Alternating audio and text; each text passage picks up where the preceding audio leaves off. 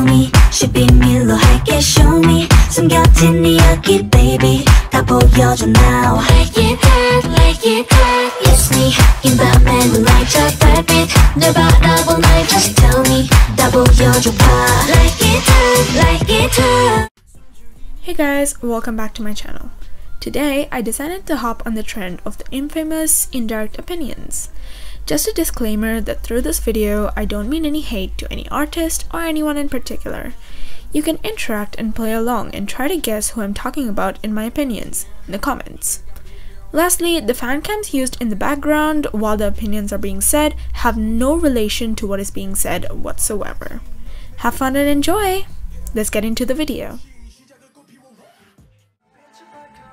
My first opinion is that this older group's discography is a little bit too overhyped. Yes, they have a few really good songs that I exceptionally like, but second generation stans like to keep a big ego and bring them up just to invalidate fourth generation stans opinions about newer group songs and discography, and some second generation stans just need to know that being an older group stan isn't a personality trait. Besides, a lot of this group's B-sides seem to lack the cohesiveness that is required in a no-skip discography. Then again, I have a lot of songs from this group in my playlist, so I'm not talking about their discography as a whole being holistically terrible.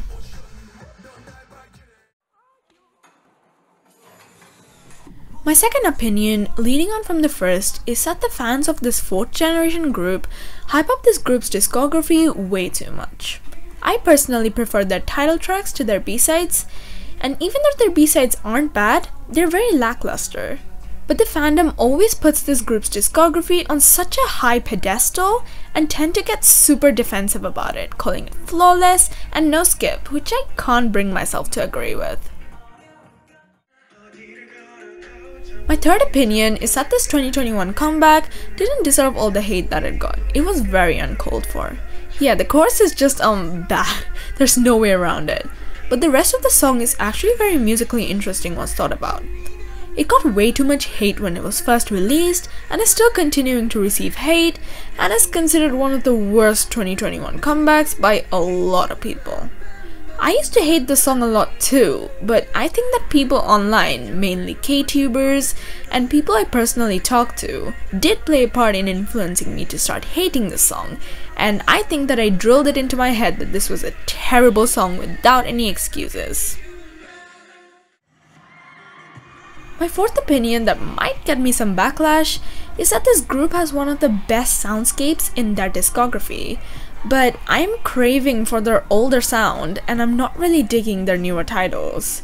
They did retain their older sound in their newer album's B-sides, but I hope they go back to their older, more atmospheric sound rather than slowly inch towards the mainstream soundscape. They're actually one of the groups with the most cohesive and smooth blending discographies, and I don't think that going mainstream is a good option for them. My fifth opinion is that this rookie girl group's debut song was a tad bit overhyped. I've heard people say that it's their best song yet, and it's also one of the best fourth generation debuts, which I can't agree with. The song in itself is pretty forgettable, and even though I do like the music video, I personally find the song really annoying to listen to. The song doesn't have a specific hook, and even though I do like anticlimactic choruses, the song's chorus felt really dry. It's really devastating that I do like some of their music, but their debut song was a big drop off for me personally. My sixth opinion is that this member from a third gen boy group, in my opinion, would be a better soloist than being in a group because from all the solo projects that he's put out, there's definitely a standout feature from the way he carries himself, to his stage presence, and to his very distinct, deep, rich, and strong voice capable of both vocals and rap. Personally, I also think that he'd do really well as an R&B influenced artist such as WOODZ. He's pretty affluent in their group work, but tends to be one of the overshadowed members in terms of his vocals and his dance, and thus my hypothesis that he'd do significantly better as a soloist. My seventh and final opinion is that this third generation girl group also has one of my favorite discographies in all of K-pop. and even though they aren't under a very small company, they're slowly being shoved to the side.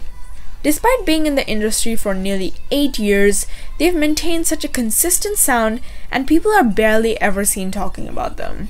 Even their comeback last year tied in so well to their original soundscape, and I can never grow old of their music.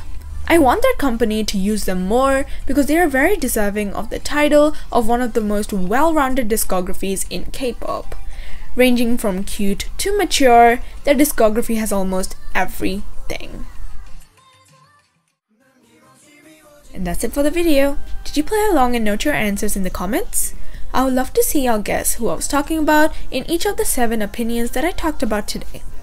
Again, I didn't really mean any harm to any idol or any group through this video and it's just a whole compilation of my opinions. I really hope you enjoyed the video and thank you so much for watching.